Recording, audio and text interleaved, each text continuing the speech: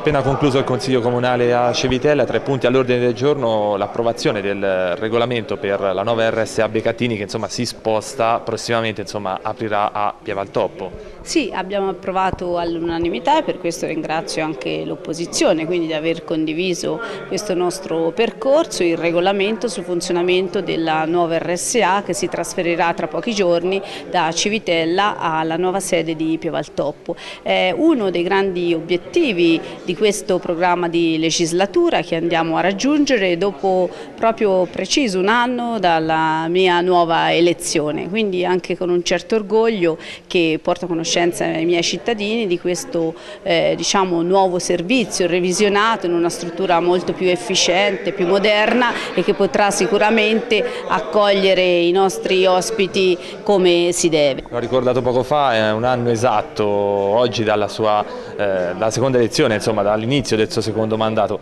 È possibile intanto trarre un bilancio anche se sono passati solo 365 giorni? Ad un anno appunto da questa seconda legislatura possiamo trarre già un primo sintetico bilancio. Stiamo concludendo il bando per eh, l'ampliamento della scuola primaria Arcobaleno che ha un valore di circa un milione di euro, quindi un importante investimento per questo nuovo territorio,